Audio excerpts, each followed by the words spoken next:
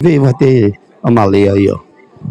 Marco, que o Marcos Felipe, eu queria que você falasse a respeito, inclusive, dos três últimos jogos. Tipo, lá no Cruzeiro, explicar até aquele lance pra gente aqui que não pôde te ouvir, o lance do segundo gol, o que é que houve, e depois a sequência dos jogos do Bahia e voltar a vencer no Brasileiro. Boa noite, velho. Boa noite. É, aquele lance do segundo gol lá, eu fechei o ângulo, conforme é, é, eu treino o posicionamento, e ali o Marlon ele, ele acabou pegando errado o cruzamento e a bola foi direto no gol. É, não, tem, não, tinha, não tinha o que fazer ali. E os três triunfos em casa que nós tivemos, é, Inter, Fortaleza e agora Fluminense, isso é, mostra a força que nós temos dentro de casa, mostra a força do nosso torcedor também que nos apoia em todo jogo em casa, que nós possamos nos próximos quatro também é, ter resultados positivos.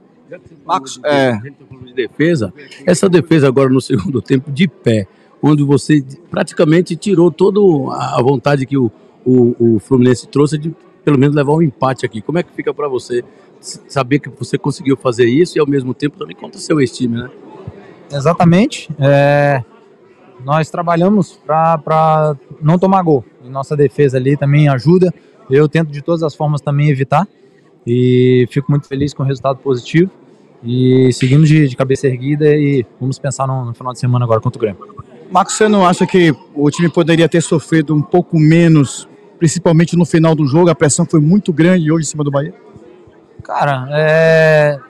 existem estratégias dentro do jogo, nós vamos tendo é, as leituras ali durante a, a, partida. No momento ali do final do jogo, nós entendemos que o melhor era, era segurar um pouco mais e graças a Deus nós conseguimos o, os três pontos aqui. Então é sempre ver a melhor estratégia dentro do jogo. Marcos, agora um jogo fora de casa contra o Grêmio. O Bahia já fez dois. A gente lembra daqueles dois confrontos da Copa do Brasil disputadíssimos contra o Grêmio. O que projetar agora uma partida fora de casa lá contra o Tricolor Gaúcho? Sabemos que o Grêmio é muito forte dentro, dentro da casa deles, mas nossa equipe vai estar bem, bem preparada para conseguir o triunfo lá. Nós já tivemos é, partidas contra eles na Copa do Brasil, no próprio no brasileiro aqui em casa, e buscar é, a melhor estratégia para que nós consigamos trazer os três pontos para casa. Obrigado, Marcos Felipe. Eu... Faz alguns minutos hoje, um jogo mais complicado do que esperado, com a importância de voltar a vencer depois de uma sequência de jogos aí, de derrotas, né, fora de casa. É, a gente sabia que o jogo ia ser bastante difícil, é, independente de deles vir com os jogadores da base ou não. É, e a gente é, foi com a proposta para o jogo, com a, com a, proposta de vencer, é, conquistar os três pontos, para que a gente possa continuar dando sequência no, no campeonato, para que a gente possa é, conseguir o nosso principal objetivo aí na, na temporada. Bom, Juba, em relação até um pequeno susto que a gente tomou domingo, né? Depois de um desgaste de logística, voo que teve que ser remarcado, como é que isso atrapalhou, né? Para recuperar o desgaste, uma semana longe da família praticamente, o quanto isso pesou para esse jogo de hoje contra o Fluminense com apenas um dia de atividade? É, a gente é, teve, teve alguns problemas para chegar, é, passamos cinco dias fora de casa, aí no, no dia de voltar para casa é, teve um problema lá no voo, mas é, a gente conseguiu chegar bem, graças a Deus. É, conseguimos trabalhar ainda é, mais um dia no CT. Concentramos e, e, botamos na cabeça que a gente ia ter que vir hoje, ia ter que guerrear, ia ter que batalhar do começo até o final, para que a gente possa estar conseguindo é, o triunfo e graças a Deus não foi diferente, a gente conseguiu entrar dentro de campo e conseguiu os três pontos que eram o mais importante. Juba, a gente tem visto uma mudança nos atacantes, né? Um rodízio, o próprio Ratão está machucado nesse momento e aí a gente acaba tendo que usar outras peças. Você está esperando essa sequência como titular também? Está ansioso por isso? É, como falei outras vezes, né? É, eu é, sempre trabalho para estar tá, é, pronto para qualquer oportunidade. É, isso quem decide é o treinador, quem joga ou não, mas tanto eu como meus companheiros, os que, os que estão jogando e a gente que está entrando também, a gente está trabalhando firme e forte porque a gente sabe que a qualquer momento a gente pode estar tá entrando no jogo é, e a gente tem que é, se entregar ainda mais do que os que, que, que, saem do jogo, porque a gente entra até descansado. E como falo, é trabalhar para que quando as oportunidades aparecerem a gente possa estar tá aproveitando, tá aproveitando do, da melhor maneira possível. Obrigado, Juba. E você mais uma vez entrando ali, né? Como é que está se sentindo já aqui no Bahia? Já está pronto, por exemplo, uma titularidade? É, como acabei de falar ali, estou é, trabalhando bastante. E, como falo, é, meus companheiros também que estão jogando titular também trabalham da mesma maneira. E a gente tem que estar preparado, como o professor sempre fala, porque as oportunidades aparecem e a gente tem que estar aproveitando a oportunidade da melhor maneira possível, como a gente que está entrando, a gente está tá conseguindo aproveitar. E é seguir trabalhando, não tem segredo, e tá sempre apoiando nossos companheiros também que estão jogando titular, é, e tá respeitando para que a gente possa estar aproveitando nossas oportunidades da melhor maneira possível. E como é que fica a cabeça de um cara que estava de titular no time, estava bem, e de repente veio, agora que você sabe, você tem que trabalhar com o Bahia, numa outra instância, num outro momento, numa outra série competição, mas a titularidade não chega, como é que fica a sua cabeça ainda? É, é como falei, é uma questão de, de, de costume. Estava é, acostumado a estar jogando titular. É, até o último jogo é, senti câimbra no segundo tempo, porque é, desde que estava lá também era assim, quando ficava um tempo sem jogar, quando pegar um jogo titular eu sentia a câimbra. Mas estou trabalhando firme, como falei, para que a gente possa estar tá, é, conseguindo entrar de, de, nos jogos e possa estar aproveitando as oportunidades que o professor vem dando para a gente, para que a gente possa estar é, ajudando a equipe do Bahia da melhor maneira possível. Juba, é, o Ceni pediu para você ficar um pouco mais atento à parte defensiva. Eu notei que no jogo de hoje, quando você entrou, você não foi muito à frente. Foi uma recomendação do treinador? É, ele falou para, ele sempre fala, né? A gente que entra ali, a gente tem que estar, tá, a gente tá descansado, a gente tem que ajudar bastante ali na, na marcação, é, mas não, não fala que a gente não tem que deixar de atacar, né? a gente tem que estar tá jogando da, do, do, mesmo jeito que, que o time titular começa jogando. É, só que a gente entra mais descansado, a gente tem que ajudar um pouco mais ali na marcação. E ainda mais no jogo como esse, jogo do time do Fluminense, é uma equipe que toca bastante a bola, o time estava vindo bastante para o nosso ataque, a gente tinha que é, se doar ali, tinha que ajudar, é, nossa linha defensiva também. É, e a, como, como falo, né, a defesa começa com os jogadores que estão no ataque, é, tem que começar marcando bem lá na frente para que a gente não possa sofrer nenhum perigo lá na, na, nossa defesa. E graças a Deus a gente conseguiu suportar bem ali e conseguimos é, o triunfo, que era o mais importante. Eu queria que você falasse sobre o lance ali do Ademir. Tipo, demorou um pouco, porque você tentou na frente, eu acho que até, é lógico, a gente está de cima vendo, mas na frente demais, se você tentasse por cima, teria deixado ele melhor posicionado. Como é que você fala daquele lance ali? Qual foi a determinação para encontrar o Ademir cara a cara com o goleiro? É, foi um, uma questão de decisão minha ali. É, podia ter dado passo para ele antes, já tinha visto ele sozinho. Só que optei pela, pela decisão de, de ficar um pouco mais com a bola. Podia até ter levado um pouco mais para frente, já estava finalzinho do jogo também, não podia estar é, tá forçando bola para que a gente não, não, não sofresse nenhum contra-ataque, né? E foi uma decisão que tomei ali no final do jogo. É, ele ainda, conseguiu chegar lá na frente. Mas, como falei, é, o, o mais importante hoje é o triunfo e graças a Deus a gente conseguiu. Valeu, Juba. Beleza, aí o Luciano Juba aqui na zona mista e agora. Boa noite, Cauli. É, você vinha lesionado, né, de algum tempo e sua recuperação acho que surpreendeu boa parte da torcida. Você já sabia que teria a condição de hoje, só soube pouco tempo antes. Como foi todo esse processo de você lesionado desde lá contra o Cruzeiro até hoje? É, é sempre chato, né, quando a gente tem que sair de algum jogo lesionado e no jogo do Cruzeiro eu Teve um lance ali que eu senti e fiquei muito limitado, né? É, infelizmente não deu para continuar. É, não foi só um susto nem nada, não deu para continuar e a gente viu no resultado também, né, que tinha dado uma lesão, mas é, não era um, um músculo assim tão importante, né? Um músculo pequeno que fortalecendo ali o, a musculatura dá para sustentar e a gente conseguiu trabalhar bem esses dias. É, intensivamente, trabalhamos bem para estar tá preparado para esse jogo, né? Que era isso que eu queria e o, e o clube também. Como é voltar, né, Caolha Campo, depois de um jogo, né, que você acabou ficando de fora contra o Palmeiras suspenso e é, evidentemente machucado, como é voltar a Fonte Nova, vencer, né? São três triunfos consecutivos em casa. Como é que, que, é que isso representa para você? Ah, é, como eu falei, é chato ficar de fora, né?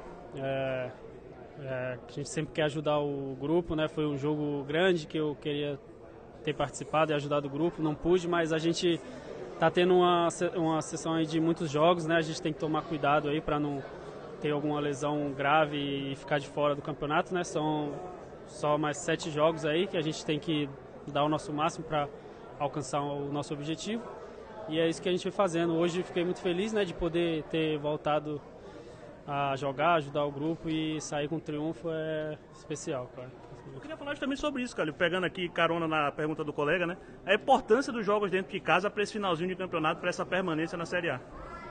É, a gente sabe que, que dentro de casa a gente é, tem, tem um apoio muito grande aí da nossa torcida e e a gente tem que, que trazer isso aí pro, pro nosso lado, né? Para dar mais confiança, dar mais é, força dentro de campo e, e, eu acredito aí que eu acho que a gente ainda ainda tem alguns jogos aqui, né? É, acho que semana que vem tem dois dentro de casa e vai ser muito importante aí com o apoio de todo todo torcedor. E é isso, a gente dentro de casa a gente tem que tem que ganhar. É, é muito bom jogar aqui, é muito muito especial é, e é isso, a gente tem que criar uma, uma força aqui dentro de casa que, que não fica fácil, não fique fácil né, para qualquer um adversário que vem aqui. Semana para esse jogo contra o Fluminense, visto que o Bahia veio de dois revés, Cruzeiro e Palmeiras, sabia que com dois resultados negativos acontecem, volta aquela preocupação né, da briga para não cair, porque tinha vencido três jogos antes, aí a briga era sul-americana, e volta tudo para a briga pelo, pelo, rebaixamento. Como é foi a semana para se preparar para esse jogo de hoje? É um campeonato extremamente bem disputado, né? É, a gente ganhou três jogos seguidos e não conseguiu aliviar, né?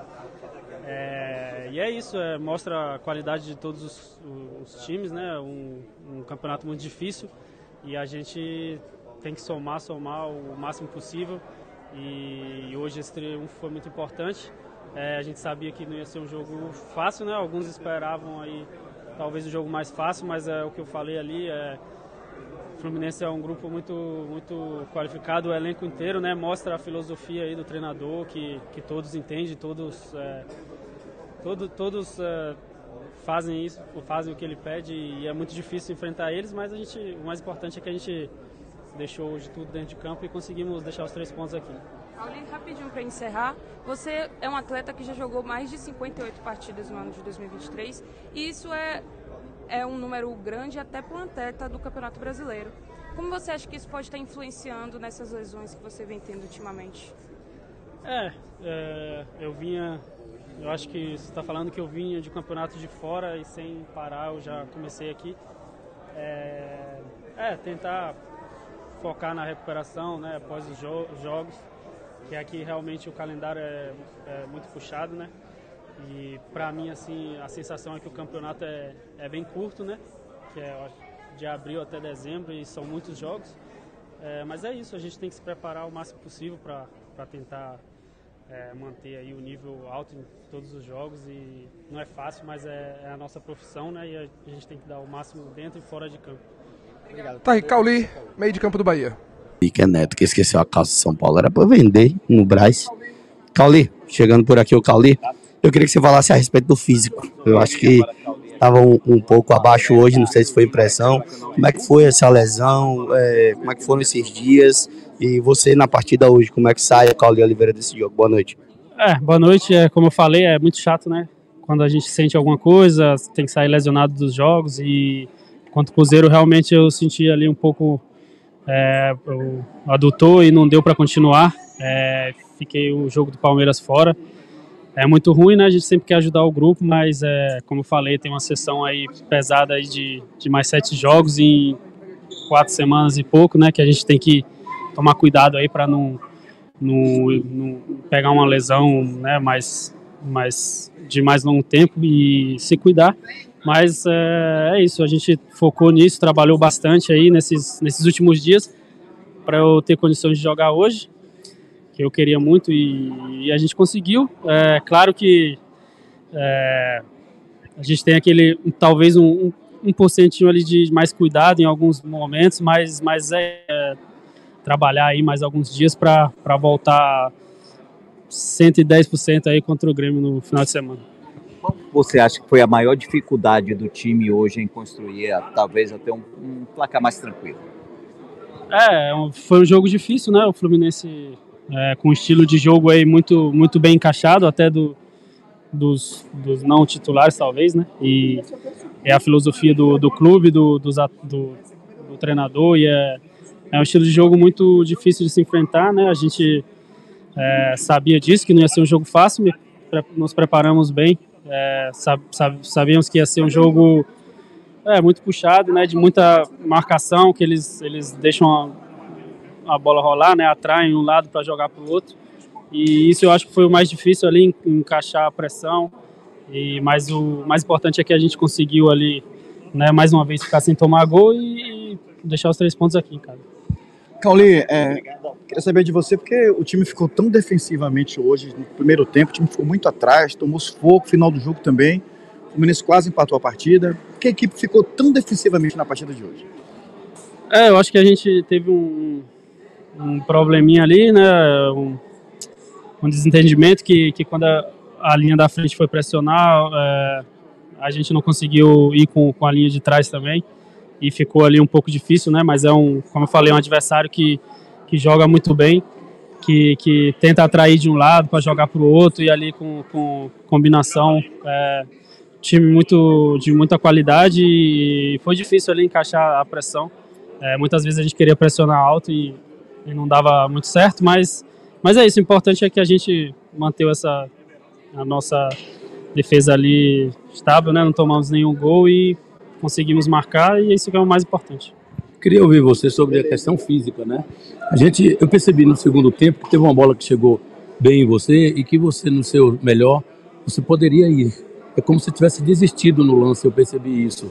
Não sei se você concorda comigo, se realmente isso aconteceu. Então eu queria que você falasse como é que você está fisicamente depois desse período que você ficou afastado, depois de ter sentido que você assistiu no jogo contra o Cruzeiro, ficou fora diante da equipe do Palmeiras. Como é que está a sua condição para poder continuar esses jogos que restam para o Bahia? Eu, tá, eu, me senti bem, né? É, até me surpreendeu também, né? Essa, essa pequena lesão aí que teve, que não foi muito grave, que deu para jogar hoje. É, fiquei muito feliz e me preparei bem. É, claro que em alguns lances eu falei, a gente tem um cuidado ali, né? Porque é, para para não, não, talvez não, não, não, arriscar alguma lesão mais grave, mas eu acho que isso aí não, não, não aconteceu de ter desistido em, em, algum momento ali. A gente talvez foi mesmo cansaço, porque foi um jogo muito puxado e a gente teve que correr muito atrás da bola, né? Isso, principalmente para os jogadores ofensivos, isso né, é chato, né? Que a gente não, não gosta, não, não, não claro que é nosso nosso dever também de, de defender, mas é quando a gente gasta muita energia para defender, talvez falta falta para alguns lances na frente. E eu acho que foi isso que aconteceu, mas é, foi o mais importante foi que a gente conseguiu esse triunfo aqui dentro de casa, né? Que dá, dá depois de duas derrotas vai dar mais confiança aí pro próximo jogo. Valeu, Cauli, beleza? Aí o Marinho, Marinho, Marinho Júnior.